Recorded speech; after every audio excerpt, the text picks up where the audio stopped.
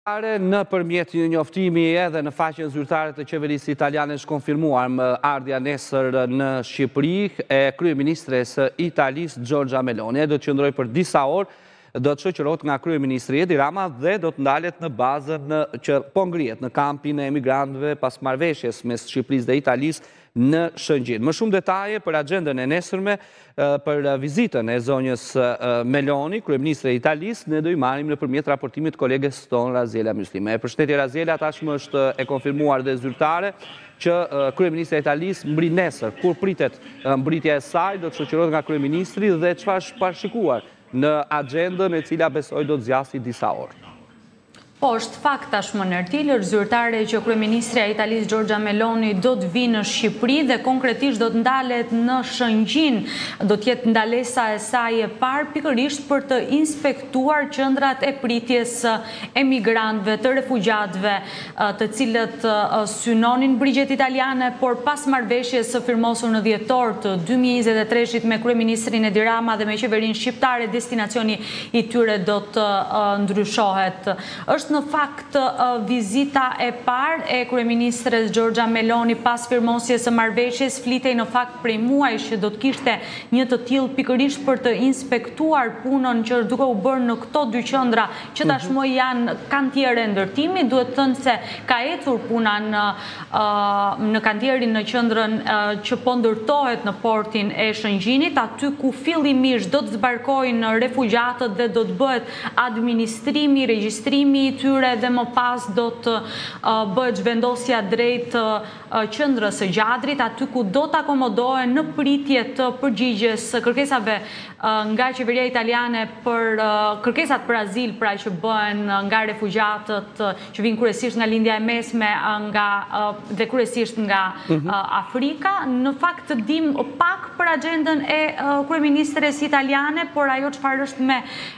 është publike deri më tani është fakti që do të pritet nga kryeministri Edi Rama, do të ketë një inspektim ditën e nesërme rreth orës së 12 nga të dy kryeministrat në këto qendra të pritjes që janë siç e thashë ende në proces ndërtimi, në kantier ndërtimi, në fazë përfundimtare duhet thënë sa i takon qendrës në portin e Shëngjinit dhe më pas do të ketë edhe një konferencë të përbashkët për shtyp. Do të evitohet Tirana, kryeqyteti shqiptar pra nga agjenda e kryeministres italiane Giorgia Meloni, mhm. pasi fokusi do të jetë kryesisht tek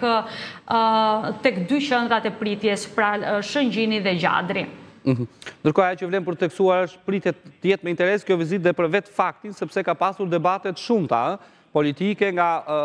e majta në Itali për këtë marrëveshje Madje edhe kemi pasur edhe deklarata edhe të Melonit, për shembull për kryeministrin shqiptar, për për ndihmën që i ka dhënë dhe besoj që në konferencën për shtyp do merren të tjera le të themi reagime dhe përgjigje nga kryeministrja italiane. Në fakt, Nertil, zërat opozitarë nga të dyja krahët, qoftë mhm. në Itali, qoftë edhe këtu në Shqipëri, duket se pak i kanë shqetësuar të dy kryeministrat, kryeministren Giorgia Meloni dhe kryeministrin shqiptar Edi Rama ka patur diskutime të shumta në politikën e të dyja vendeve, por në fakt me marrëveshjen është ecur përpara. Ajo çka vlen të theksohet është se në Shqipëri opozita duket se ka qenë pak ma aktive pasi e ka çuar marrëveshjen edhe në Gjykatën Kushtetuese, ashtu siç ne tashmë e dimë dhe në janar të këtij viti Gjykata Kushtetuese e rrëzoi pretendimet e opozitës se kjo marrëveshje e firmosur mes Shqipërisë dhe Italisë cënon sovranitetin, prek integritetin e territorit shqiptar dhe në fakt u rrëzua ky pretendim i opozitës, i grupit të Rithemelimit, në fakt për, le të themi, një marrëveshje antikushtetuese dhe iu dha drita jeshile, më pas marrëveshja u ratifikua në të dyja parlamentet, qoftë të Shqipërisë ashtu edhe të Italisë dhe nuk e pengonte asgjë çuarjen përpara të kësaj marrëveshje me ndërtimin e të dyja qendrave. Ndërsa sa i takon diskutimeve në Itali dhe le të themi kontestimeve nga opozita atje, është cilësuar si një marrëveshje që mbi të gjitha cënon edhe të drejtat të drejtat njerëzore të refugjatëve të cilët kërkojnë të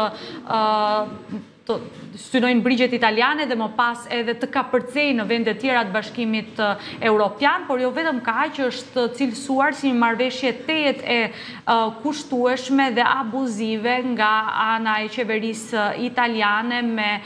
shifrat që do të hidhen për ndërtimin apo edhe për menaxhimin gjatë gjithë periudhës që do të funksionojnë këto dy qendra të pritjes së emigrantëve në Shqipëri. Ajo çka dua të sjell në vëmendje është se do të jetë një marrëveshje e cila synon që t'i përshpejtojë sipas palës italiane të paktën synon mhm. të përshpejtojë kërkesat për azil nga ana e refugjatëve dhe në marrëveshje thuhet se kërkesat e tyre do të trajtohen brenda 28 ditëve, duhet të shohim në vazhdimësi kur të fillojë edhe të implementohet kjo marrëveshje me ardhje dhe me administrimin e refugjatëve që do të vendosen në Shëngjin, nëse do të jetë realisht e mundur që të administrohen kërkesat e tyre dhe të jepet një përgjigje për ta brenda njëzet e tetë ditëve apo do të do të jetë një, le të themi, kohë më e gjatë në trajtimin e këtyre mhm. kërkesave. Në total pretendohet se do të trajtohen 36.000 raste të kërkes, 36.000 refugjat, 36.000 kërkesa për azil në vit, pra me një ndërsa qendrat do të kenë një kapacitet prej 3.000 refugjatësh maksimumin e tyre. Mhm. Ndërkohë edhe një pyetje të fundit Razela, ne dje kemi transmetuar nëpërmjet raportimit të kolegut tonë në Shëngjin, pra në në Lezhë, Elvis Sila pamë që gjithçka është gati në në kampin e, e pritjes në në Shëngjin. Pra vetëm në Shëngjin do do ndalojë nesër sipas informacioneve të para kryeministrja, jo në Gjadër. Është ende e paqartë në fakt mhm. Nertil, pasi në faqen zyrtare të qeverisë italiane, ku është ku njoftohet edhe agenda e kryeministres italiane Giorgia Meloni, njoftohet se do të ketë një vizitë në zonat në të dyja qendrat, pra në zonat që mbulon edhe protokolli marrëveshja mes Shqipërisë dhe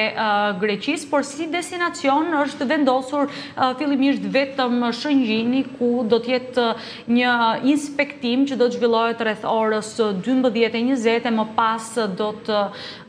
vazhdohet edhe me konferencën e përbashkët për shtyp. Ndërsa nga pala shqiptare, nga zyra e shtypit të kryeministrisë, në fakt ende nuk ka asnjë konfirmim për axhendën zyrtare përfundimtare të kryeministrit Rama dhe kryeministres italiane Giorgia Meloni, se cili do të jetë itinerari i vizitës disa orashe, pra nëse do të jetë Vetëm në Shëngjin apo pas Shëngjinit të dy kryeministrat do të shkojnë edhe në Gjadër e më pas do të ketë edhe një konferencë të përbashkët për shtyp. Faleminderit Razela për të gjitha këto informacione që na përcolle në këtë lidhje të drejtpërdrejtë dhe nesër padyshim do të jemi së bashku dhe do të ndjekim edhe vizitën e kryeministres së Italisë Giorgia Meloni në Shëngjin në ku do të shoqërohet nga kryeministri i Shqipërisë Edi Rama. Mirë, do të shkojmë në një tjetër lidhje live. Këtë herë